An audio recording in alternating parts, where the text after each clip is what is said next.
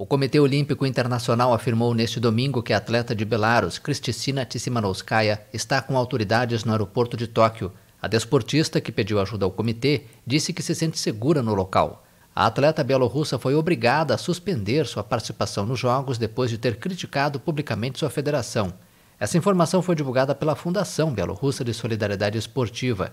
Já o Comitê Olímpico Bielorrusso, dirigido por Viktor Lukashenko, filho do presidente do país, Alexander Lukashenko, afirmou em nota que a atleta teve que suspender sua participação nos Jogos por decisão dos médicos, devido ao seu estado emocional e psicológico. Uma declaração classificada como mentira pela atleta.